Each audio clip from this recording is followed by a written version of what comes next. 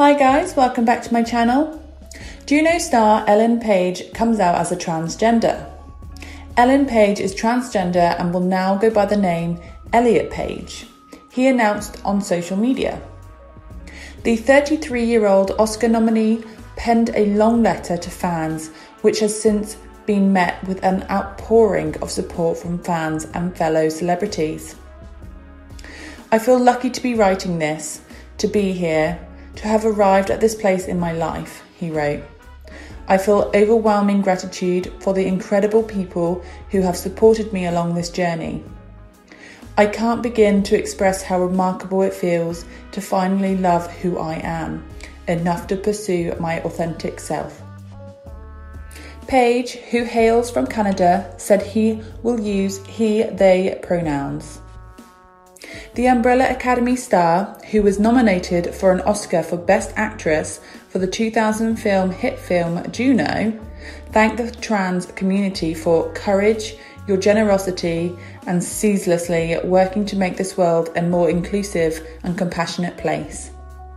Page admitted he was scared to come out as a trans given the invasiveness, the hate, the jokes, and the violence. To be clear, I am not trying to damn a moment that is joyous and one that I celebrate, but I just want to address the full picture, he continued. Page called out political leaders who work to criminalise trans healthcare and said that blood on their hands. I love that I am trans and I love that I am queer, he concluded his letter.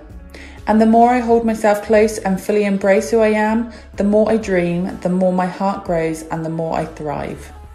To all trans people who deal with harassment, self loathing, abuse, and the threat of violence every day, I see you, I love you, and I will do everything I can to change the world for a better place. Page, who is married to dancer and choreographer Emma Portner, came out as gay in February 2014 while giving a speech at the Human Rights Campaign's Time to Thrive conference in Las Vegas. A decade before coming out, Page accused director Brett Ratner of outing him as gay on the set of X Men The Last Stand when he was just 18. He said Ratner encouraged other women to have sex with him, despite the fact he wasn't out of the closet yet. I was young adult who had not yet come out to myself. I knew I was gay but did not know, so to speak. I felt violated when this happened, Page wrote in a Facebook post in 2017. This man who cast me in the film started out months of filming at a work event with this horrific, unchallenged plea. He outed me with no regard for my well being, an act we all recognise as homophobic. This public aggressive outing left me with long standing feelings of shame, one of the most destructive results of homophobia.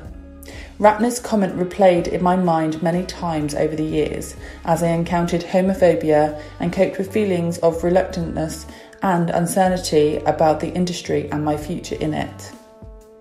Page's global breakthrough came with Juno, which was a critical and financial success. It was considered to be one of the best movies of 2000s. He had been starring as the main character, Vanya Hargreaves, in the popular Netflix series The Umbrella Academy since in debut last year. Netflix's official account wrote on Page's post, So proud of you, our superhero. We love you, Elliot. Can't wait to see you return in season three. A third season was officially renewed this month. Thank you for listening. For more celebrity news, please like, comment, and subscribe.